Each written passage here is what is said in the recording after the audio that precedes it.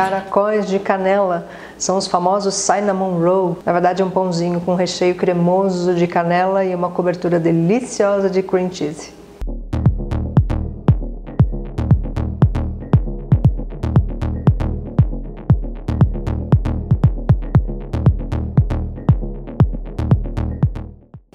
Olá, eu sou Sandra Dias, cake designer profissional desde 2001 e sejam bem-vindos ao meu ateliê.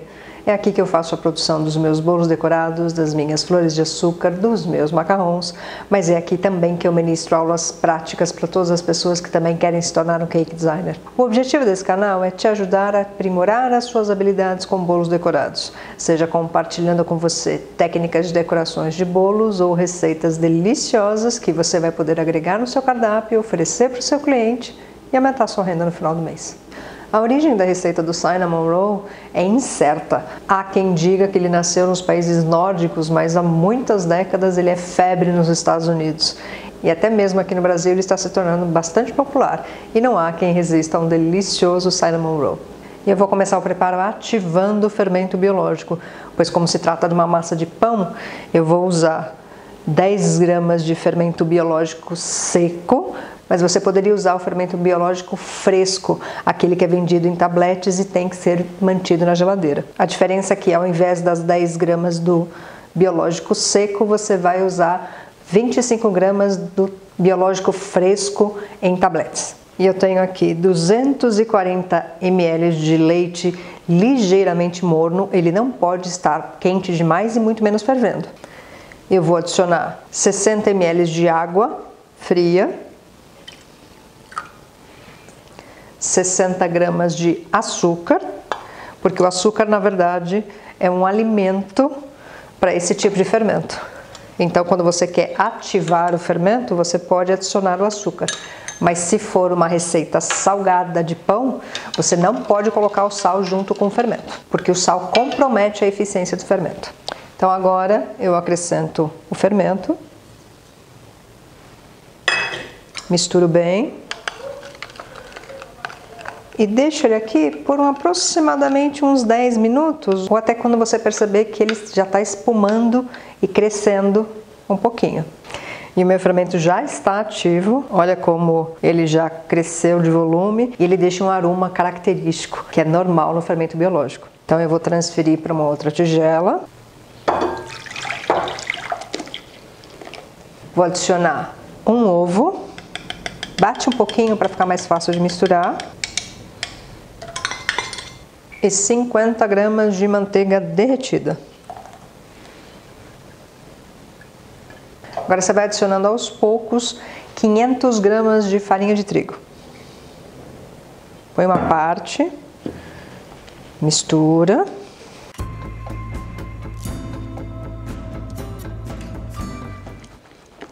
Coloca mais um pouco.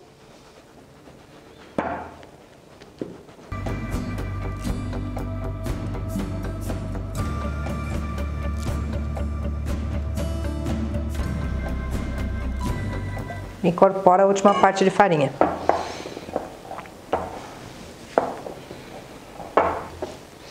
Agora que já incorporou toda a farinha, despeja na bancada.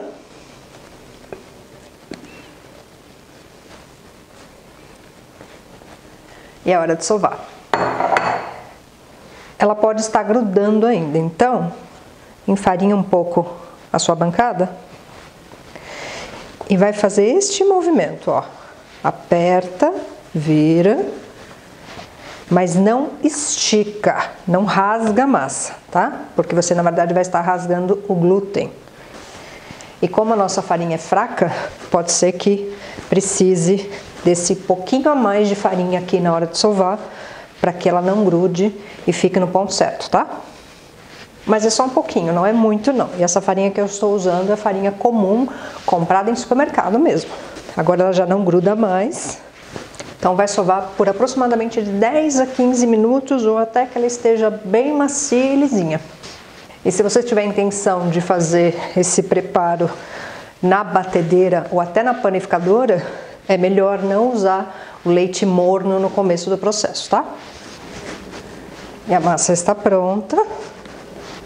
Olha, bem macia Agora é a hora de fazer a primeira fermentação. Então, deixa ela assim, formato de bolinha mesmo. Transfere para uma tigela e eu costumo cobrir com filme plástico porque o tempo de fermentação vai depender da temperatura ambiente. Se você mora num local muito frio, vai demorar muito mais tempo para ele fermentar. Mas se você mora num local quente, vai ser ligeiramente mais rápido. E cobrindo com o filme plástico, ele retém os vapores que o próprio pão emite, mantendo uma temperatura mais constante e ele fermenta mais rápido. Então, ele vai ficar aqui até que essa massa dobre de volume. E só então a gente segue com o preparo da massa. Agora que dá para ver que a massa já fez a fermentação, antes de abrir eu vou deixar o recheio pronto. Então eu tenho aqui uma colher de sopa de canela em pó, 180 gramas de açúcar demerara. Então mistura primeiro os dois aqui. Agora eu tenho 200 gramas de manteiga, ponto pomada, Mistura ela um pouquinho aqui primeiro para ficar mais fácil. E aí acrescento o açúcar com canela.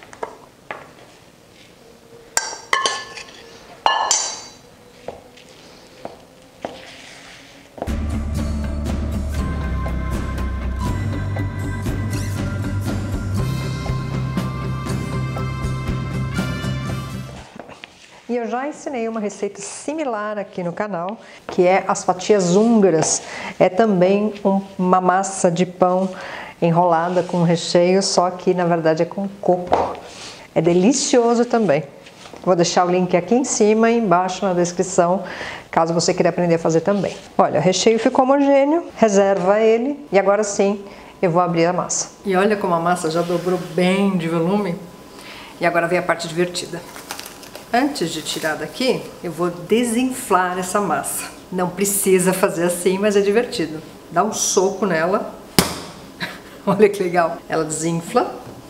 Então você vai precisar de novo de um pouquinho de farinha na sua bancada. Despeja ela aqui.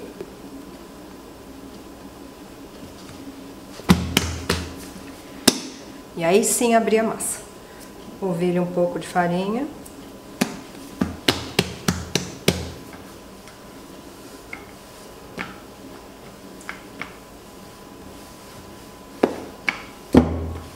Tenta sempre deixar um formato homogêneo, tá?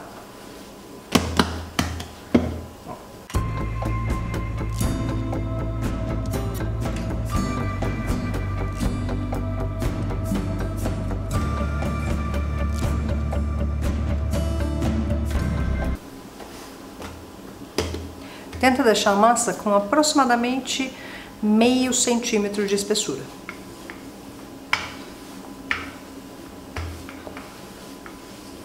Agora com a massa aberta, você vai espalhar o recheio.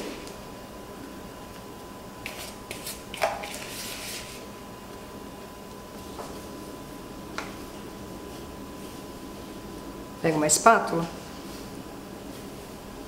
e espalha na extensão inteira da massa.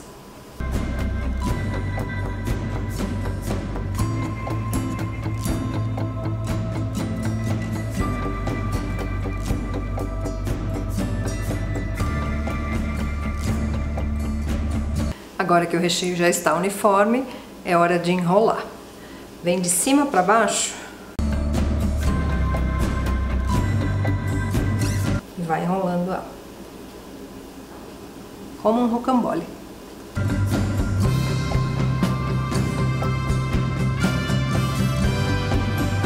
Agora, para fechar essa massa, eu costumo passar um pouquinho de clara de ovo nessa região, porque ela cola melhor e fecha bem.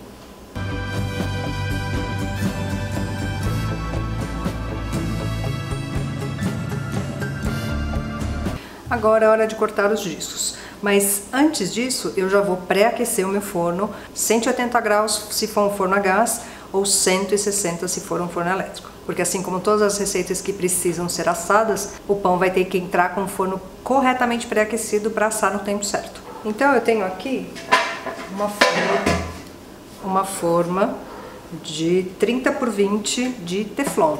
Se a sua for alumínio comum, é melhor untar para ter certeza que ela vai desenformar direito. Pega uma faca e faz este movimento. E aí você escolhe a espessura dos discos que você quer.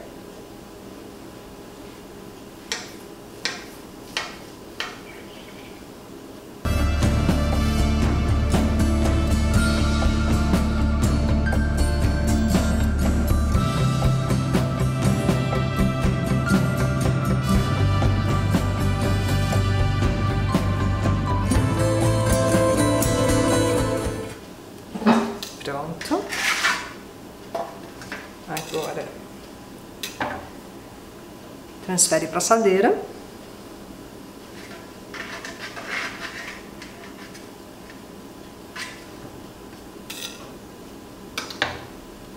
Pode dar um pouco de espaço entre elas, porque agora precisa fazer a segunda fermentação. Mas se você decidir que não quer assar ele agora, como se trata de uma massa de pão e a fermentação depende da temperatura ambiente, você pode congelar essa massa ou refrigerar, porque o ar frio retarda a fermentação ou até mesmo o congelamento para com a fermentação. E aí quando você decidir que vai assar, tira da geladeira, espera voltar em temperatura ambiente, espera fazer a segunda fermentação, ou seja, dobrar de volume, só então que você vai poder colocar para assar. Então agora eu vou cobrir um pouquinho com filme plástico, enquanto ele faz a segunda fermentação. E assim que ele dobrar de volume, eu coloco para assar. E a minha segunda fermentação já está pronta. Veja, ele já dobrou novamente de volume. Então agora o meu forno também já está pré-aquecido. Lembra, 180 forno a gás, 160 forno elétrico e ele vai ficar por aproximadamente de 20 a no máximo 30 minutos até que ele fique dourado. E se você ainda não é inscrito no canal, mas gostaria de continuar acompanhando as minhas dicas e as minhas receitas, aproveita para se inscrever, clica aqui embaixo no botão vermelho inscrever-se, clica também no sininho porque ele vai ativar as notificações, assim cada vez que um novo vídeo estiver disponível no canal, o YouTube vai te avisar e você não vai ficar de fora da novidade. E confira também quais são os benefícios em se tornar um membro assinante do canal. Ao lado do botão vermelho existe um botão em azul escrito Seja Membro.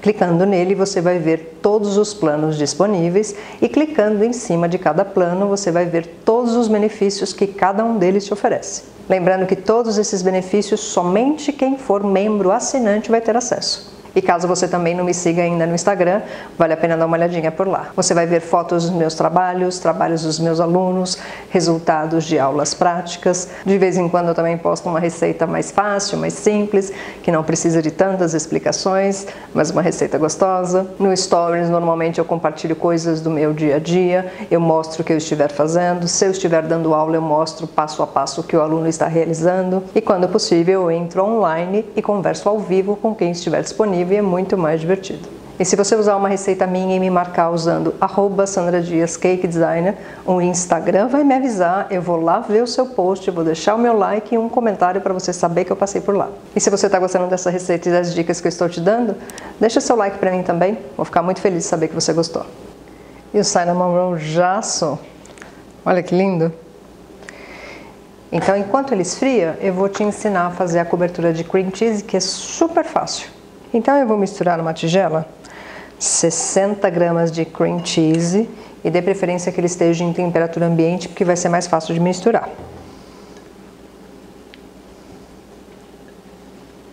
Quarenta gramas de manteiga. Mistura aqui. Lembre de ter a manteiga também em ponto pomada. E olha, a hora que ficar homogêneo, Começa adicionando aos poucos 100 gramas de açúcar impalpável. É aquele açúcar que parece um talco de tão fininho e tem um percentual alto de amido de milho.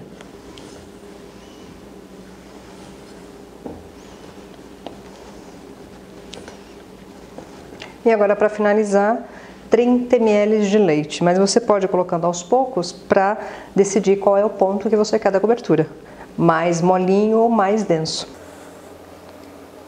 põe só metade. Colocar o restante.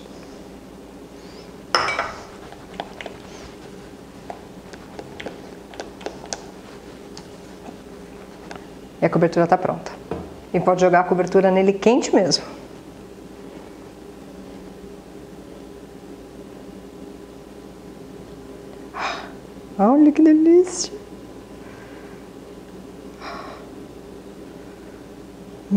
Nossa Senhora! E vocês não imaginam o aroma delicioso de canela que está tomando conta da cozinha. E agora chegou a hora de provar essa delícia. Ai, que triste. Deixa eu ver. Vou pegar este aqui. Menorzinho.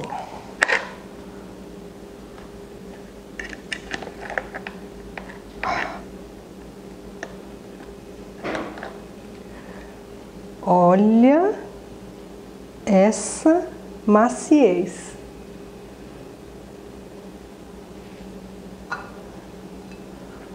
Então agora vamos ver como ele ficou por dentro.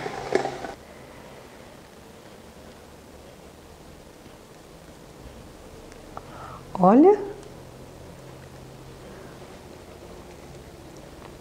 Hum. Hum. Olha que massa. Fofinha. É maravilhoso.